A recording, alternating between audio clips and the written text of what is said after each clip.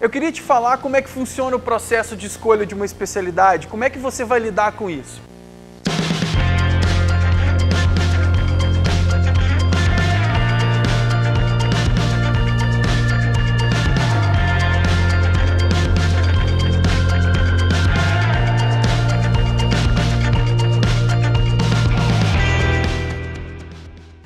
Lá nos primeiros anos do curso de medicina, você vai ver o ciclo básico, as disciplinas que vão te dar literalmente base para você aprender.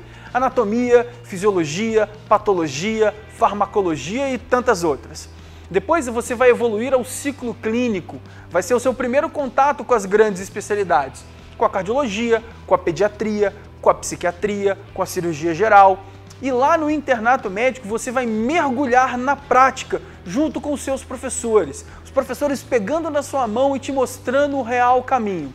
Quando você terminar a faculdade, você vai ter muito mais ferramenta, muito mais é, é, ferramenta para tomar sua decisão e escolher a sua especialidade. E é na residência médica que esse mundo vai se abrir para você e você vai praticar dentro daquilo que você escolheu, usando todos os seus conhecimentos. Quer um exemplo? Eu sou pneumologista pediátrico. Eu aprendi lá nos primeiros períodos a anatomia do pulmão, a fisiologia pulmonar, a patologia, a farmacologia. Depois eu fui fazer pediatria e algumas aulas sobre a medicina respiratória em pediatria. Eu peguei tudo isso e fui praticar dentro dos ambulatórios e dos hospitais da minha graduação. E aí eu resolvi fazer a residência de pediatria. Eu conheci muito sobre todas, uma grande parte das doenças das crianças.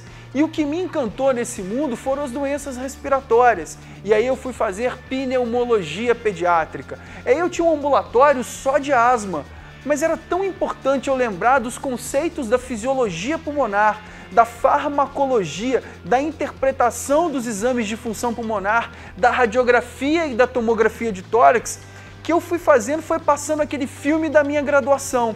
Então é muito importante quando você estiver na sua residência que você se lembre de todo o caminho que você percorreu. E quando você estiver na faculdade, você entender a importância de percorrer esse caminho com excelência e entrar numa residência médica de qualidade. E aqui no Revisa Med, Pra gente, o que importa é ver você na residência médica.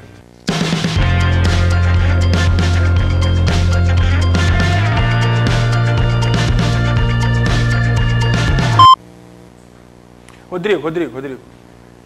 Câmera um pouquinho mais para perto da televisão para eu olhar, tentar olhar mais para cá.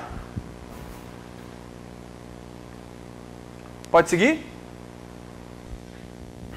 Esse, esse vídeo é a princípio para o YouTube, né?